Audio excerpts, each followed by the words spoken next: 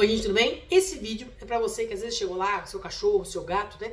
E ele teve diarreia do nada, né? Não trocou a ração, não mudou o alimento, é sempre tudo que ele mais come, não teve ninguém diferente na casa, não tem nenhuma bactéria, tá vacinado, a diarreia veio do nada. E muitas vezes ela não é do nada.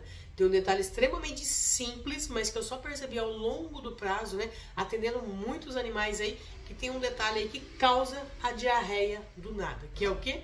É você pegar o potinho e colocar esses agradinhos, que a gente costuma dar tanto pro gato quanto pro cachorro, né? Pode ser assim um sachê, né?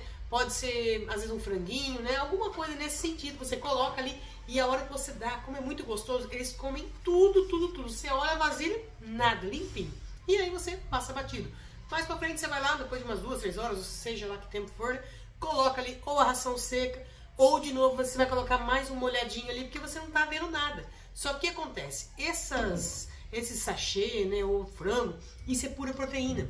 A proteína é o meio de cultura para a bactéria. Ah, mas está limpo, né? Coisa limpa. Como é que a bactéria vai multiplicar ali? Porque o animal comeu, passou a saliva ali. A saliva dele é extremamente contaminada em bactéria. Então essas bactérias, em conjunto com isso que você não vê nada, tá limpinho, quase que invisível. Você não vai ver nem a bactéria, nem esse meio de cultura né? Então, em duas horas, gente, ainda mais se estiver quente, né? A bactéria se multiplica ali, deita e rola e você não vê nada.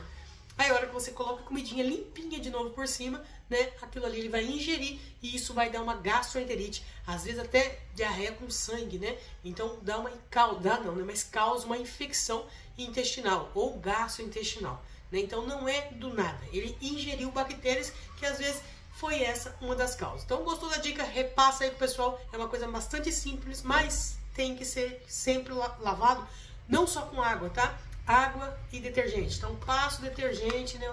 Sabão neutro, não sei o que vocês costumam limpar.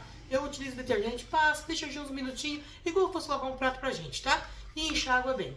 Toda vez que você der um conteúdo úmido. No caso da ração seca, se ficar uns farelinhos pequenininho ali também, né? E aí no outro dia você vai lá e ó, profit, põe a ração por cima sem lavar o pote. Por mais que o pote é dele mesmo, né? Vai causar também. Então tome cuidado, detalhes simples que evita diarreias aí. Deus abençoe e até o próximo vídeo.